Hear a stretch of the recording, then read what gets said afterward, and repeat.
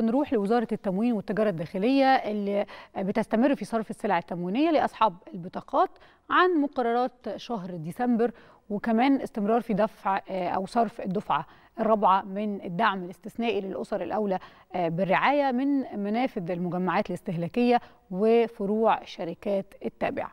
توفر المجمعات الاستهلاكية كل أنواع السلع الغذائية وغير الغذائية وكمان يتم طرح منتجات اللحوم الطازجة والمجمدة بأسعار أقل من مثيلتها في الأسواق بنسبة من 20 ل 25% دلوقتي بينضم لنا على الهاتف المحاسب محمد سعد الله وكيل وزارة التموين بالإسكندرية مساء الخير على حضرتك ولو تقول لنا تفاصيل صرف الدفعة الاستثنائية الرابعة من التموين ل يعني مواطني إسكندرية.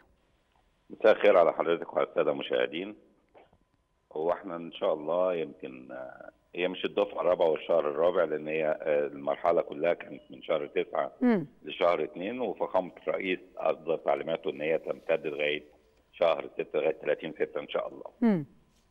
يمكن يمكن للشهر الرابع على التوالي الحمد لله بتنجح وزارة التموين ممثله في المديريات والشركات التابعة للشركة القابضة في توفير جميع احتياجات المواطنين من السلع الأساسية وخاصة زي ما كلنا نعلم يمكن الأرقام اتقالت قبل كده إن الدعم الاستثنائي المقرر صرفه لبعض الأسر على البطاقات التموينية بيكلف الدولة ما ما يقارب حوالي مليار جنيه شهريا زيادة على الدعم اللي بيتصرف طبيعي على البطاقة التموينية.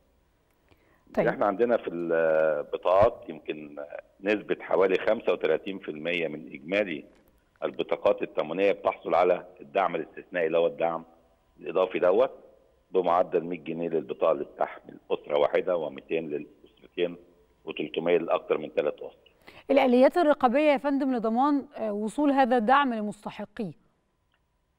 يمكن الآلية الرقابية وموجود طبعا رقابة على منافذ صرف السلع التموينية ما قبل الدعم الاستثنائي وما بعده لأن دي من ضمن الأساسيات على وزارة التموين وعلى المديريات إن هي بتراقب الدعم المنصرف عن طريق المنافذ التموينية. إحنا عندنا ثلاث منافذ بتصرف التموين بالنسبة للمواطنين.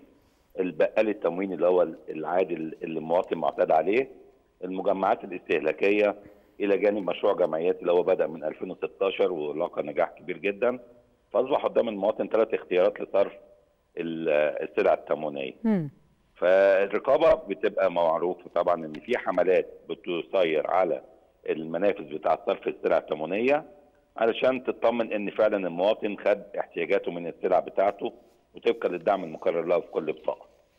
إحنا عارفين طبعا إن السلع المدعمة النهارده بقت سلع استراتيجية ومهمة جدا بالنسبة للمواطن وفيها طبعا أهم السلع اللي بتوفرها المجمعات الاستهلاكية يا فندم.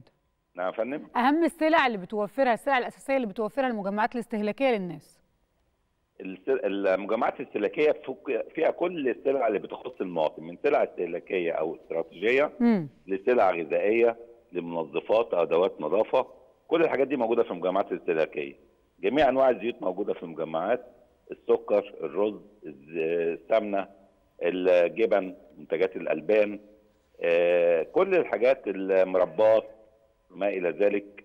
المعلبات كلها بكامل أنواعها. المجمعات الاستهلاكيه النهارده بقت يعتبر عنصر منافس جدا للقطاع الخاص وبالنسبة للمواطنين بتبقى سند ليهم عشان بتعمل توازن في السوق ما بين الأسعار الخارجية والأسعار داخل المجمعات. توفر السلع في المجمعات بيعمل توازن عشان الأسعار بتاعتهم معتدلة وبالتالي السوق الخارجي بيحاول إن هو يقرب منها عشان يبقى في توازن بالنسبة للأسعار.